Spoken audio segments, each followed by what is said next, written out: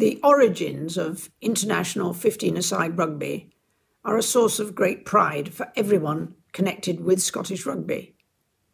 And today, as patron of the Scottish Rugby Union, I join the celebrations of true sporting trailblazers. For on the afternoon of Monday, 27th of March 1871, on the playing fields of Edinburgh Academicals at Raeburn Place in the Stockbridge suburb of Edinburgh, the first international rugby match kicked off.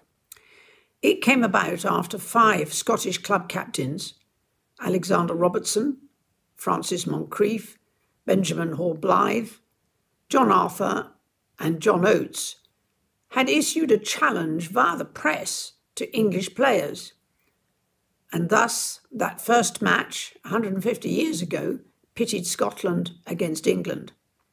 Without their foresight, who knows whether or how international rugby might ever have taken off. Rather like the current Six Nations Championship, that first match was not without some issues, with debate around the grounding of the first international try, scored by Scotland's Angus Buchanan.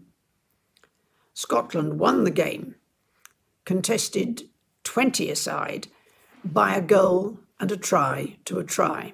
And 150 years on, Scotland were victorious when the countries met at Twickenham last month. Raeburn Place has also played a historic role in the development of the women's international game, hosting the first Scotland Women's International in 1993 and the Women's Rugby World Cup final a year later, where England lifted the silverware after a win against the United States. Today, as international rugby celebrates its 150th anniversary, let us remember the pioneers who masterminded that first game. Theirs is a wonderfully compelling legacy. And to mark the occasion, I'm delighted that Scottish Rugby will induct those players from the 1871 Scotland team into its Hall of Fame. Timely recognition for unsung sporting innovators.